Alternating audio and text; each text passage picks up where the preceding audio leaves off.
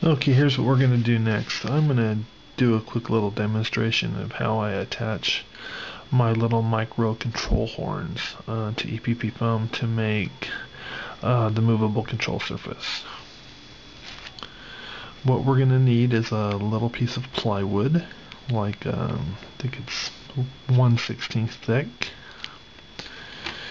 and a little micro control horn. Hope you can pick this up. This uh, has three holes in it and it has a stem post. What I first do is take the little piece of hole here and a pen um, screwdriver.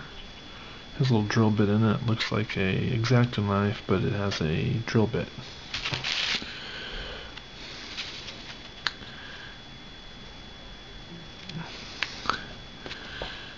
Drill a hole in the wood for the horn on the control. And then I take my X-Acto blade here and make the hole a little bit bigger.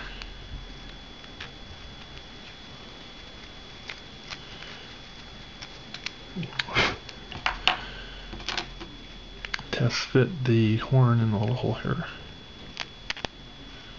Just like that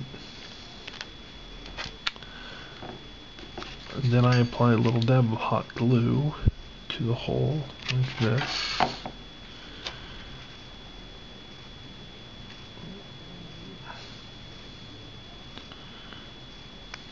To hold it in place so it looks just like that. Okay. I then grab my piece of EPP foam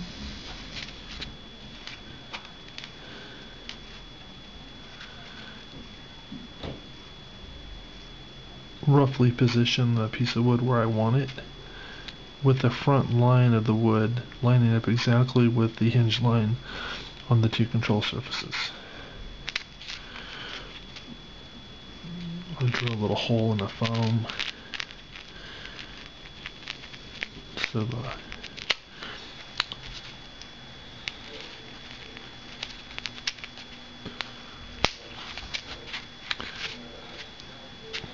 test fit the horn where I want it.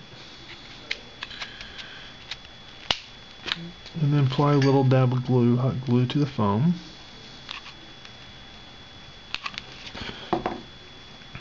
And press the horn in position.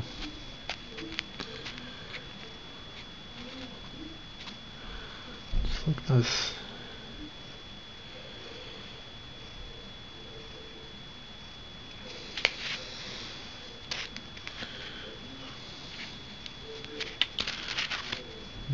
There you have it. Just like that.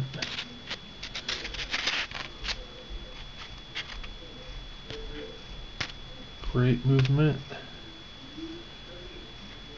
Easy to do.